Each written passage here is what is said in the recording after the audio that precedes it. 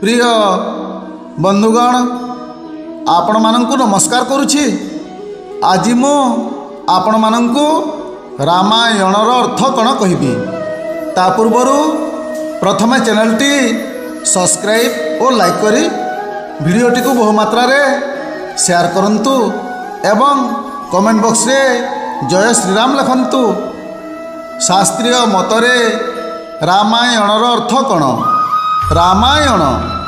ରା ଅର୍ଥ ରାଣ ମା ଅର୍ଥ ମାପକ ୟଣ ଅର୍ଥ ଜଣେ। ଯେଉଁ ଶପଥକୁ ଜଣେଙ୍କ ଉଦ୍ଦେଶ୍ୟରେ ମପାଗଲା ତାହା ହେଲା ରାମାୟଣ। କାହା ଉଦ୍ଦେଶ୍ୟରେ ମପାଗଲା? ମାତା କୈକେୟୀ ପିତା ଦଶରଥଙ୍କ ଦ୍ୱାରା ଜଣେଙ୍କ ଉଦ୍ଦେଶ୍ୟରେ ଶପଥ କରାଇଲେ। ସିଏ ହେଲେ ଅଯୋଧ୍ୟା ନରେଶ ଦଶରଥଙ୍କ ପୁତ୍ର ରାମଚନ୍ଦ୍ର। ରମୟତେ ଇତି ହିଁ ରାମ। ପ୍ରତ୍ୟେକ ଜୀବର ହୃଦୟରେ ଯିଏ ଆତ୍ମା ରୂପରେ ରମଣ କରନ୍ତି ସେହି ପରମ ପୁରୁଷ ରାମ। ରାମ ହିଁ ରାମାୟଣ ଏବଂ ରାମାୟଣ ହିଁ ରାମ। ହଁ ଦର୍ଶକ ବନ୍ଧୁ ଏହି କଥାଟି ଅତ୍ୟନ୍ତ ଗହନ ଅନନ୍ତ ଏବଂ ଅପାର।